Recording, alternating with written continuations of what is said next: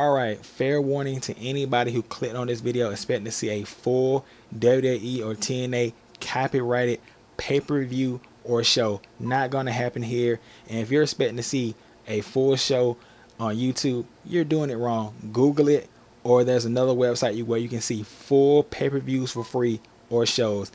Please just leave the video right now if you do not enjoy wrestling reviews. You've been warned. Leave, dislike, don't do anything else. I enjoy this channel. I enjoy talking about wrestling. If you don't, that's on you. And it's your choice to be made. See you guys later with the wrestling review. What's going on, people? It's Mugen or OJ bringing you another SmackDown review. And this SmackDown, it starts off with The Miz, Miz TV, as it should, because The Miz, he's from Cleveland, Ohio, or is he? He's originally from Akron, Ohio. Ziggler, he's from Cleveland, Ohio, but since The Miz was already there using the from Cleveland, Ohio, Ziggler let him get it, and he just says he's from Hollywood, California. A little trivia in case you didn't know it. So it starts off with Miz TV. Miz brings out Mick Foley, and Foley asks Miz, which Miz are we going to see? Are we going to see the WWE Champion main event spotlight Miz, or are we going to see the bearded movie star makeup wearing Miz? And Miz says you really don't have to worry about him. You have to worry about the rest of the team. He especially calls out Kofi about stealing his IC belt. The whole tag, the, they bring out the whole team for some kind of like team meeting or whatever, and of course it blows up in their face. They get into a not a rumble but a war of words. Randy Orton comes up, comes out, and he knocks over Miz's poster. Team Ziggler comes out, and Ziggler he brags about how his team is more united. And Del Rio he's on the sideline saying that he should be the leader of the Survivor Series team because it matters for some reason. I don't I don't know, maybe that's just part of his character. Mick Foley he made some matches on this and here's the thing about these matches Mick Foley made. It's not that they're bad, it's just the fact of where they're placed and how some of them were. Like for example, okay, he makes a match between Dolph Ziggler and Dolph Ziggler, Alberto Del Rio versus Miz and Orton to solve some kind of team unity problem between both teams instead of having Miz and Kofi versus Del Rio and Ziggler. And also we get Wade Barrett versus Kane. I can deal with that one, but it also leaves Daniel Bryan off of the card. So this is the only time we see Daniel Bryan, even though he's the most over man in the company. I think it also has to do with the fact that who is it? Uh, Cody Rhodes, he got injured and he shouldn't I repeat, he should not wrestle at Survivor Series because it takes a week to get over a concussion. But I digress.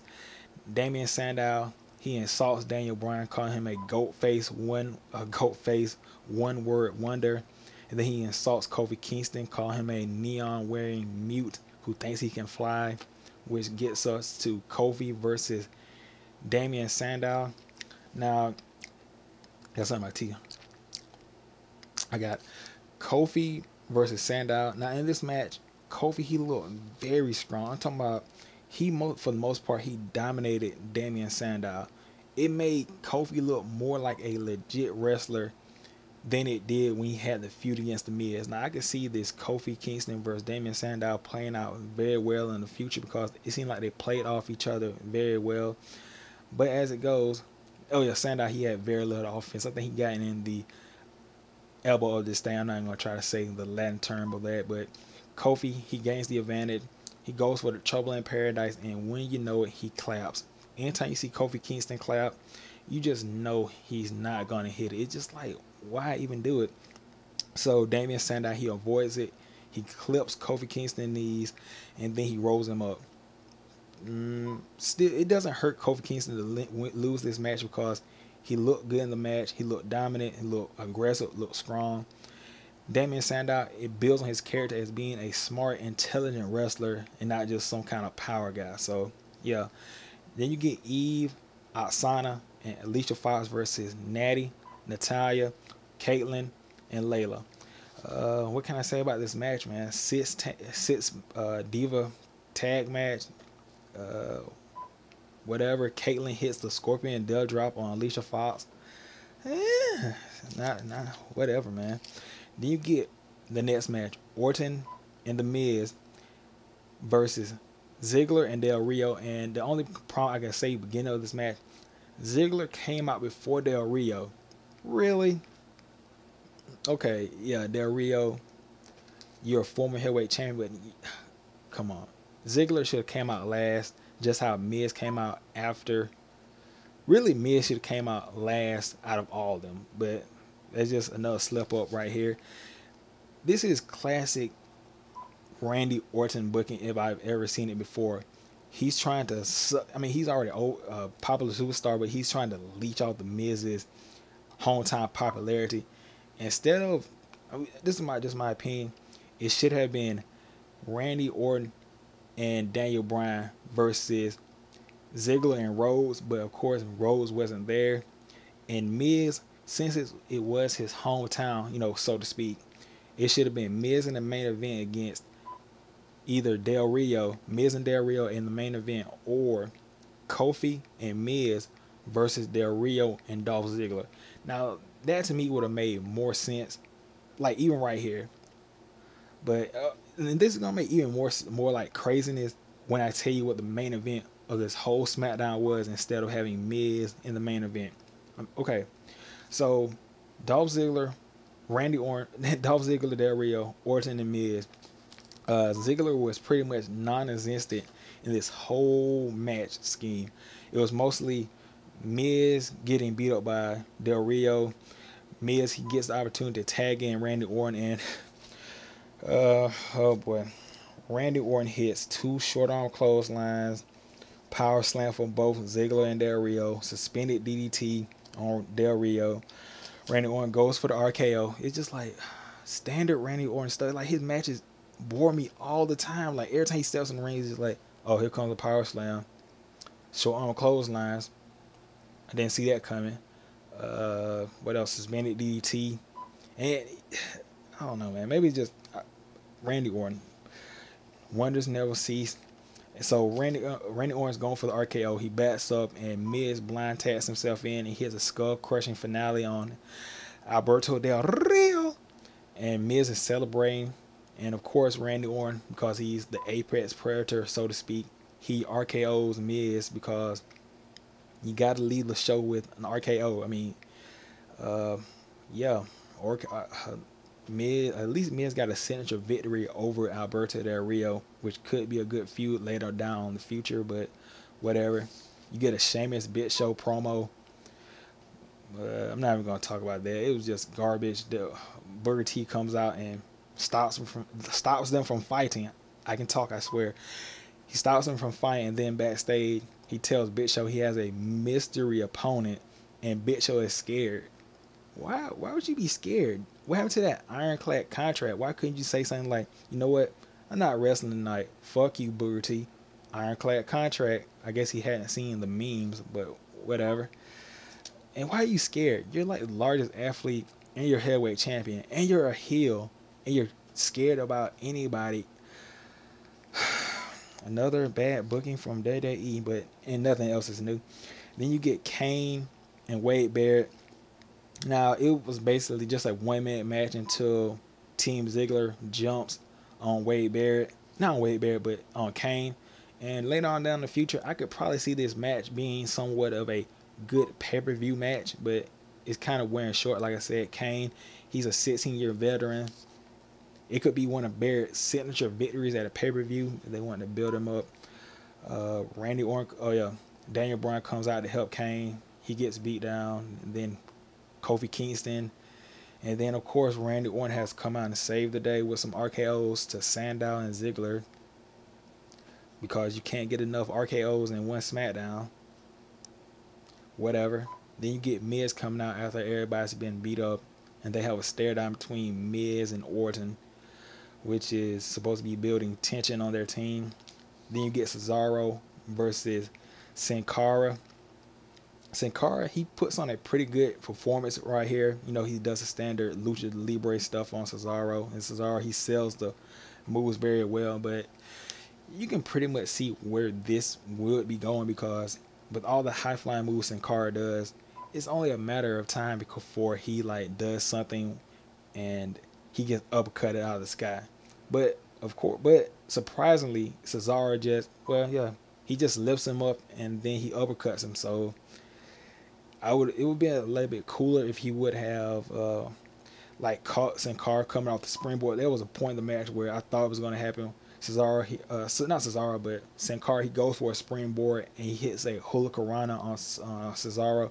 I thought right there that was going to be the uppercut spot right there, but whatever. Cesaro wins with the uppercut and then to into the uh, equalizer. Hey, and then this is the main event. Th- this is the main event. okay, okay. Let me get let me get in drink a little bit of tea real quick. Hold up. This is the main event. This is what people in Ohio who came to see the Miz paid to see. Let me get my throat clear. No homo.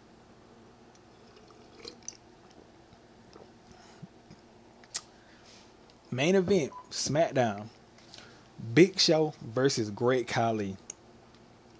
I repeat, instead of having The Miz, the hometown guy, in the main event in Cleveland, where he got a tremendous pop, they could have had Miz and Kofi versus Dolphin Del Rio, which could have helped both Kofi and The Miz and far as building them up to high level status along with Del Rio, along with not Del Rio, he's already up there, kind of, Dolph or they could have just had Miz versus Del Rio. I know a lot of these matches, like I'm saying, if Cody Rhodes wouldn't have been injured, it probably would have happened, or maybe not because WWE they kind of been fucking up lately. So, like I said, I would love to see Randy Orton and Randy Orton and Daniel Bryan versus Ziggler and Rhodes. I think that should have happened, but you know Rhodes got injured or whatever. But let's get back to the main event: Big Show versus Great Khali. And bitch, so god damn it. When Great Khali's music hit, why are you looking scared? You just knocked this dude out like four weeks ago. Like it wasn't nothing. It was like a two minute swatch match. Swatch. It was a two minute shit get shit on match. And you just looked diamond in that match. You didn't give a fuck. You like it was like arrive, knock out Great Khali, leave, and now that you're world heavyweight champion and the heel, you're a chicken shit heel who's scared of the Great Khali because you hear his music. Really? Okay. Uh, I mean, it was a slow ass match. The crowd did not give two fucks about it. I mean, the crowd, all the momentum in the place just completely died. Man, I'm not even gonna talk about the promos they did for like the Survivor Series match between CM Punk, John Cena, and Ryback. The picture pretty much explains it all. Whatever if the picture's up or whatever. But yeah, man, whoever thought about this match, kill yourself, man. This was the worst main event you could ever do. It just sucked all the life out of the arena. Big Show wins with a knockout punch. Um, and then you hear Sheamus's music come out, come on, come out, whatever. Big Show gets scared for some reason again, and he starts to leave the arena. Matt Striker asking for an interview. He scares off Matt, Matt Striker. He gets on his tour bus. And of course, Sheamus is on his tour bus because Sheamus can pick locks and Big Show doesn't, or Big Show doesn't lock his own tour bus. Okay, um, Big Show gets laid out by Sheamus. Way to book Big Show as a monster heel WWE. I'm, I'm doing a thumbs up. I'll be doing vlogs probably like two, three months, so you'll be able to see the thumbs up. So, I mean, it, it was a big improvement from Raw. Starting with a three, it's a it's a three point five, man. It's watchable. I, that's what all I say, man. I mean, you could you could I could have missed this show and still felt good, but whatever. It's just some bad booking, on my opinion, from this show. You're in Cleveland with one of your mid to high level superstars, main event stars, like mid card. A guy, a guy like me He's between main event and mid card status, and he's in his hometown, and he's not in the main event. Wow, amazing. So let's get into the Survivor Series predictions since I got a little bit of time and it's still under 13 minutes. Okay, first thing is 3MB versus Tyson Kidd and Justin Gabriel. Uh oh boy, this is the match. This is the pre-show match that doesn't mean shit. So I'm going to have to say 3MB continues their dominance. I can't see Justin, Tyson Kidd and Justin Gabriel derailing their dominance so far because I can see them going up against Team Hell No in the future. But I don't know who was that? Who's the guy on commentary? Josh Matthews said it was going to be Team Co-Bro. So I don't know. Right now I'm looking at the WWE website. They have Tyson Kidd and Justin Gabriel versus 3MB. But if it's Co-Bro, I really don't give a fuck about this match. I don't give a fuck about this match regardless. So let's skip ahead. Divas match. Eve versus Kaitlyn. okay. If they put the belt on Kaitlyn, Kaitlyn, if you win with the fucking Scorpion Death Drop, I hope Steam comes out. I, I don't even know what to say. This horrible. You have the worst fin. You have the worst finisher in Divas history. You're you have massive arms for a girl, and I thought your finisher was gonna be the torture rack. You teased me with the torture rack. I was like, yes, finally a diva who's gonna put people in a submission type maneuver and win like that. But no, it's a shitty ass scorpion death drop. I hate when Sting does that move because it's a suck ass finisher. It's just a reverse DDT. It's not a fucking finisher. Why? What? So I think they're probably gonna put the belt on Kaitlyn. I think Kaitlyn is gonna win this match. Whatever. Cesaro versus R-Truth. I think this will be Cesaro's first legitimate uh, title defense. All the other title defenses, bullshit, jobber matches. This is despite what R-Truth has become, he's still a great wrestler, a good wrestler at that. I think this will be a match that might possibly steal the show. Hey, is my opinion. Cesaro, I still think he's gonna retain. R-Truth that U.S. champion, what does it do for him? Not unless they're gonna like keep it building with the R-Truth Cesaro feud, and how far can that go? Really. Uh, then you get the Team Ziggler versus Team Foley. Uh, it's hard to say about this one. Uh, I'm probably leaning toward because okay, Miz and Ziggler have a match on main event. Who needs this more? I think Miz Miz's team is gonna win just because Miz is on the cover. It's how WWE does it and because you know they had that dysfunction because it's the old bait and swerve, so they're going to give Ziggler a signature loss again. Ziggler isn't going to win at a pay per view again. That's what I'm thinking, and they're going to give Ziggler the win on main event. Wow. I'm just calling that one out there. Uh, so Ziggler, he's a future heavyweight champion, but he can't win a big match on the pay per view. If that happens, Wow. Wow. And then, oh yeah, also, let me talk about this. Since Cody Rhodes is injured, they've probably got to replace him. I, I would hate to see Cody Rhodes injured, not even four days out from a concussion, wrestling in a main event, not a main event, but a top match. It will be devastating because it could, you know, if you wrestle or do anything after a concussion, it could be life threatening. And I hope WWE aren't that crass to put him out there and endanger his life.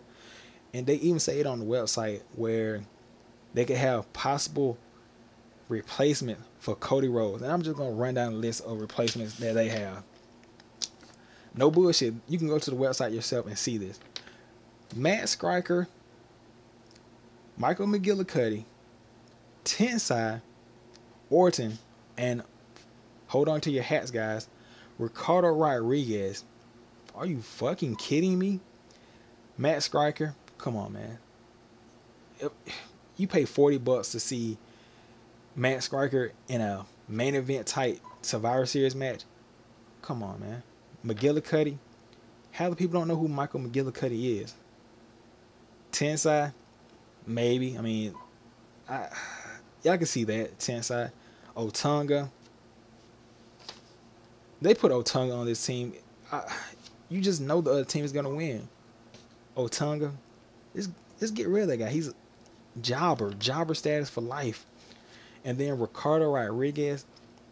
Now, only way I can see Ricardo Rodriguez working, I can see him working over Otunga, McGillicutty, and Matt Striker. Hold on, let me let me tell you. Only because if Ricardo Rodriguez, it would be a slap he he couldn't win the Survivor Series. Like, of course, he couldn't like be the last man surviving. Actually, Ricardo Rodriguez, if he eliminated Randy Orton with a pin or a roll up, that would make my day. It would be like, okay, Del Rio, you couldn't get the job done against uh, Randy Orton, but your announcer does. It would be so funny. I mean, you think about it, Ricardo Rodriguez, he's more over than Del Rio as far as mic skills go and with the crowd. It, it would just be so funny. But of course, Randy, no job Orton, I doubt he would let that happen. I doubt it.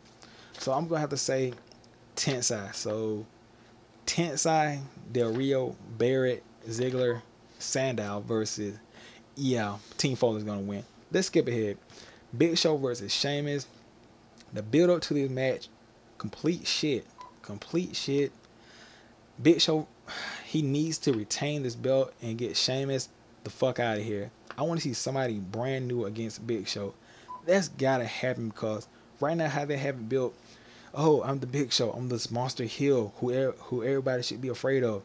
Oh shit, there goes Sheamus. I'm scared of him and he beats me up all the time. I'm so scared.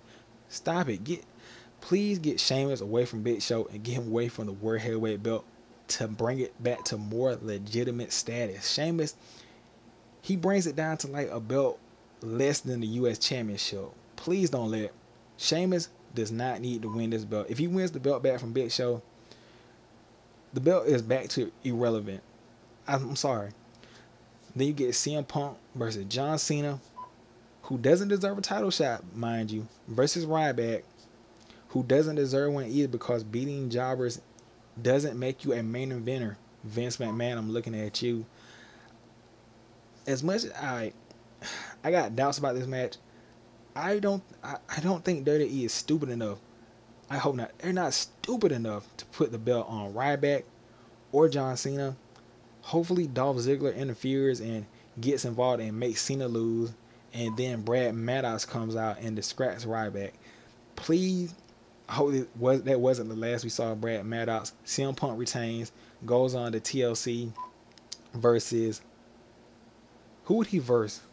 Probably John Cena again. Oh my, cause he's probably Ryback gonna get pinned. Oh my, so we're gonna get another. Goddamn, just CM Punk versus John Cena a fucking again. I, I know it's gonna happen at TLC. But the good thing about that is, I will they do Rock versus Cena again at at Royal Rumble? Oh my god. CM Punk he needs to retain all the way to Royal Rumble because I people want to see CM Punk versus Rock. Nobody wants to see John three moves of doom versus The Rock. Nobody. No nobody wants to see that again. It was a year worth of build up for what? Like John Cena's shitty mic work. I'm turning back into a rapper because it's getting real on the rock. Nobody cares about John Cena besides little kids. CM Punk, he retains this match. Anything else is uncivilized. They put a bet on Ryback. I'm gonna stop watching WWE because it's silly. Like there's no point. Like I might watch it for Daniel Bryan, but I can't even do reviews on the show because I just want to watch Daniel Bryan and probably some other stuff. Anytime Ryback if he Ryback wins this match and he gets the WWE Championship, I'm turning the shit off. Like as soon as I see Ryback shows off, like I'm not doing reviews. John Cena gets the belt back. I might, man, but still, man, CM Punk. I'm, I, I ain't cut this video short because it's already 25 minutes. CM Punk retains. Let me just cut it off right here, man, because I'm getting annoyed. John Cena and Ryback in a main event against CM Punk. Way to go WWE, not building up any other mid carders to go against CM Punk. Kofi versus CM Punk would have been a cool thing. Oh no. You gotta they gotta be big and eat a lot of steak and be on steroids to be in the main event. I'm Vince McMahon. I'm an aging dumbass who doesn't know how to book main events anymore. I'm out, man. I'll see you guys later on Survivor Series Sunday.